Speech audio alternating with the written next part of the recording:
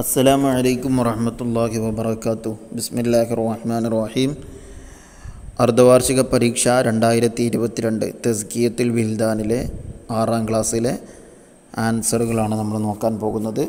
കോളത്തിൽ ശരി അടയാളപ്പെടുത്തുക. ഒന്ന് ഉമ്മുൽ ഖുർആൻ എന്ന് പറയപ്പെടുന്ന സൂറത്ത് ഏതാണ്? സൂറത്തുൽ ഫാത്തിഹ. രണ്ട് അഷേഖ് അഹമ്മദ് റിഫായി റതി അള്ളാഹുന് ജനിച്ച സ്ഥലം. Answer Iraq. മൂന്ന് ലഹുമുദ്ദുന്യ വലനൽ ആഹിറ ഇത് പറഞ്ഞത് ആര്? ആൻസർ നബി സല്ലാഹു അലൈഹി വസ്ലമ തങ്ങൾ. നാല് ലഫ്ലുൻ മുഫീദുൻ എത്ര എത്രക്കബു മിനൽ കലിമാത്തി. ആൻസർ അൽ കലാം അഞ്ചാമത്തത് ഇമാം ഷാഫി റളിയല്ലാഹു അനുവിന്റെ ഉസ്താദ്. ആൻസർ ഇമാം വക്കീർ റളിയല്ലാഹു അൻഹു. ആറ് മറാമുൻ എന്നതിന്റെ അർത്ഥം ആൻസർ ഉദ്ദേശ്യം. അടുത്ത് ചേരുംപടി ചേർക്കുക. ഏഴ് റഅയ്ത്തുൽ ഇൽമ റഅയ്ത്തുൽ ഇൽമ അതിന്റെ ബാക്കി ഇ സ്വാഹിബുഹു കരീമുൻ ബൈത്താണത് റഅയ്ത്തുൽ ഇൽമ സ്വാഹിബുഹു കരീമുൻ. അടുത്ത എട്ട് അൽ കലിമത്തു കലിമത്ത് ആൻസർ ഡി മിനൽ ഹുറൂഫിൽ ഹിജായിയ. ഹിജായിയായ അക്ഷരങ്ങളാണ് ഉണ്ടാകുന്നതാണല്ലോ കലിമത്ത്. അപ്പം ഡി ഒമ്പത് അൽ ഹംദു. ഹംദ് പറഞ്ഞാൽ എന്താ? ആൻസർ എ ആണ്. അസ്സനാ ഉൽ ജമീൽ ബി ജമീ അൻവാഇഹി.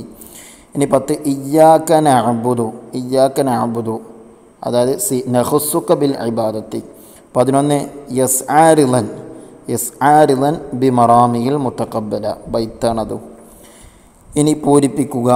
പന്ത്രണ്ട് അൽക്കമാർ അലി അള്ളാഹു അനുവിനെ കരിക്കാനുള്ള വിറക് ശേഖരിക്കാൻ നബ്സല്ലാ അലൈഹി സ്വലമ ഡാഷിനോട് കൽപ്പിച്ചു. ആരോട്? ബിലാൽ റലി അള്ളാഹു അനുവിനോട് പതിമൂന്ന് ഫാത്തിഹയ്ക്ക് മുമ്പ് അഴുത് ഓതൽ ഡാഷ് ആകുന്നു. സുന്നത്താകുന്നു. പതിനാല് ആ ഷെയ്ഖ് ഡിഫായി റതിയുള്ള വഫാത്തായത് ഹിജറ വർഷം ഡാഷ് ആണ്. ഹിജറ അഞ്ഞൂറ്റി എഴുപത്തി എട്ടിൽ ആണ്. പതിനഞ്ച് അൽ കലിമത്തു ഡാഷ് അക്സാമുൻ കലിമത്ത് മൂന്ന് ഇനമാകുന്നു. അൽ കലിമത്തു സലാസത്ത് അക്സാമിൻ മൂന്ന് ഇനമാകുന്നു. പതിനാറ് മംഫി തൊലീഖിൻ ഡാഷ് യസ്ലുക്കു. ഫ ഇലൽ ജിനാനി ലഹു തൊരീഖിൻ സുഹിര മംഫി തൊരീഖിൻ ലിത്തഅല്ലുമി യസ്ലുക്കു ലിത്തഅല്ലുമി എന്നാണ് അവിടെ എഴുതേണ്ടത്. പതിനേഴ് ഫലൗലൽ ഇൽമു മാ ഡാഷ് റിജാലുൻ ഫലൗലൽ ഇൽമു മാ സഇദത്ത് റിജാലുൻ മാ സഇദത്ത് എന്നാണ് അവിടെ എഴുതേണ്ടത്. ഇനി ഒറ്റ വാക്കിൽ ഉത്തരം എഴുതുക. പതിനെട്ട് അസബുൽ മസാനി എന്നു പേരുള്ള സൂറത്ത്. സൂറത്തുൽ ഫാത്തിഹ. പത്തൊമ്പത് അഷേഖ് ഡിഫായ് അലി അള്ളാഹു ഏത് മതഹബനുസരിച്ചായിരുന്നു കർമ്മശാസ്ത്രം പഠിച്ചത്? ഈ ഷാഫി മതഹബ് അനുസരിച്ച് ഇരുപത് ഫാത്തിഹയ്ക്കു ശേഷം ആമീൻ ചൊല്ലുന്നതിന്റെ വിധി. ആൻസർ സുന്നത്ത്. ഇരുപത്തി ഒന്ന് എന്ന വാക്കിന്റെ അർത്ഥം. ആൻസർ ചരക്ക്. ഇരുപത്തിരണ്ട് സുഹീല തൊരീഖുൻ ഇലൽ ജിനാൻ. ഈ കലിം കലാമിൽ എത്ര കലിമത്തുകളുണ്ട്? ആൻസർ നാല് കലിമത്തുകൾ. ഇരുപത്തി മൂന്ന് റളിയൽ വാലിദു അനിൽ വലതി ഈ കലാമിൽ നിന്ന് ഫിഴിൽ തിരഞ്ഞെടുക്കുക. ഏതാണ് ഫിഴിൽ റളിയ എന്നതാണ് ഫിഴിൽ ഇനി അടുത്ത് ഒറ്റ വാചകത്തിൽ ഉത്തരം എഴുതുക. ഇരുപത്തിനാല് നബിസല്ലാഹു അലൈഹി വസ്ലമ തനിക്കും തന്റെ സമുദായത്തിനും എങ്ങനെയുള്ള ജീവിതമായിരുന്നു ഇഷ്ടപ്പെട്ടിരുന്നത്? ആൻസർ ഐഹിക വ്യക്തിയോടെയും ഉള്ളതുകൊണ്ട് തൃപ്തിപ്പെട്ടുമുള്ള ജീവിതം. ഇരുപത്തി അഞ്ച് അൽക്കമാർ അലിയുള്ളാനുവിന്റെ മരണസമയത്ത് കലിമ ചൊല്ലാൻ സാധിക്കാതിരുന്നത് എന്തുകൊണ്ട്? ആൻസർ ഉമ്മാന്റെ പൊരുത്തമില്ലാത്തത് കൊണ്ട് അതല്ലെങ്കിൽ ഉമ്മാന്റെ ദേഷ്യം കൊണ്ട്. ഇനി ഇരുപത്തിയാറ് ഇഹ്ദിന സിറാത്തുൽ മുസ്തഖീം ആശയം എഴുതുക. ചൊവ്വായ വഴിയിലേക്ക് എന്നെ നീ നേർവഴിയാക്കണമേ. നേരായ പാതയിലേക്ക് എന്നെ നീ നേർവഴിയാക്കണമേ.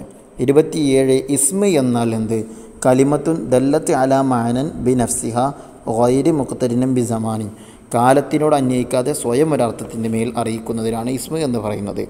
ഇരുപത്തിയെട്ട് അള്ളാഹു താല ഹിദായത്ത് കൊണ്ട് അനുഗ്രഹിച്ചവർ ആരെല്ലാം? ആൻസർ നബിമാർ സിദ്ദീഖീങ്ങൾ ശുഹദാക്കൾ സ്വാലിഹീങ്ങൾ. ഇരുപത്തി ഒമ്പത് നബ്സല്ലാഹു അലൈഹി വസ്ലമയുടെ ശരീരത്തിൽ ഉമർ അലി അള്ളാഹുനു എന്താണ് ദർശിച്ചത്? പരുഷമായ പായയിൽ കിടന്നതിന്റെ അടയാളമാണ് ഉമർ അള്ളാഹുന് കണ്ടത്. മുപ്പത് നൂറ് റക്കായത്ത് സുന്നത്ത് നിസ്കരിക്കുന്നതിനേക്കാൾ പുണ്യമാണ് എന്തിന്? ആൻസർ അറിവിൽ നിന്ന് ഒരു ബാബു പഠിക്കുന്നതിന്. മുപ്പത്തിയൊന്ന് റിളർ റബ്ബി ഫി റിളൽ വാലിദി വ സഹത്തുർ റബ്ബി ഫി സഹത്തിൽ വാലിദി. ആശയം എഴുതുക. അള്ളാഹുവിന്റെ തൃപ്തി മാതാവിന്റെ തൃപ്തിയിലും അള്ളാഹുവിന്റെ കോപം മാതാവിന്റെ കോപത്തിലുമാണ്. ഇനി അടുത്തത് അഞ്ച് പരിധിയിൽ കുറയാതെ ഉപന്യസിക്കുക.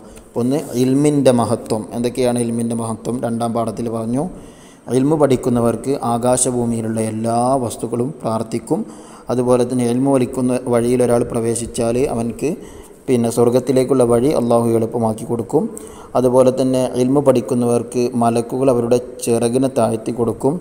ഇൽമിൽ നിന്നുള്ള ഒരു ബാബ് പഠിക്കുന്നതിന് നൂറ് റക്കാത്ത് നിസ്കരിക്കുന്ന നൂറ് റക്കാത്ത് സുന്നത്ത് നിസ്കരിക്കുന്നതിനേക്കാൾ ശ്രേഷ്ഠമാണ്. ഇനി മുപ്പത്തി മൂന്ന് ആ ഷെയ്ഖ് റിഫായി റതി അള്ളാഹു അന്നു ഷെയ്ഖ് റിഫായി അള്ളഹാനിനെ കുറിച്ച് എഴുതാനാണ്. നാല് പ്രശസ്തി ആർജിച്ച നാല് കുത്തുബുകളിൽ ഒരാളാണ് ഇമാം റിഫായി റതി അള്ളാഹുനു ഇറാഖിലാണ് ബഹുമാനപ്പെട്ടവർ ജനി ജനിച്ചത്. ഇൽമിലും ഇബാദത്തിലുമായിട്ട് ജീവിച്ചു. ഷാഫി മദ്ഹബിൽ ഫിഖ് പഠിച്ചു.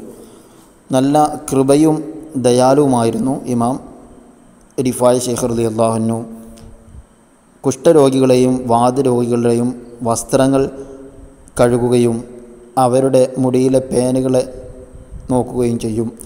അതുപോലെ തന്നെ അവരോട് ഇവിടെ ഭക്ഷണം കഴിക്കും. അവരോട് ദുആ ചെയ്യാൻ വസീയത്ത് ചെയ്യും. അതുപോലെ രോഗികളെ സന്ദർശിക്കും. അന്ധന്മാരുടെ കൈപിടിക്കും കണ്ണ് കാണാത്തവരുടെ കൈപിടിച്ച് കൊണ്ടുപോകും. പ്രായം ചെന്നവരെ ആദരിക്കും. ബഹുമാനപ്പെട്ടവർ ഹിജറ അഞ്ഞൂറ്റി എഴുപത്തിയെട്ടിൽ ഒഫാത്തായി ഇതോടെ തസ്കിയ ആറാം ക്ലാസ്സിലെ തസ്കിയത്തുൽ വിൽദാനിലെ രണ്ടായിരത്തി ഇരുപത്തിരണ്ട് അർദ്ധവാർഷിക പരീക്ഷയുടെ ആൻസർ പൂർത്തിയായി. അസ്സാം വലൈക്കും വാഹമത്തല്ലാ വാബർക്കാത്തു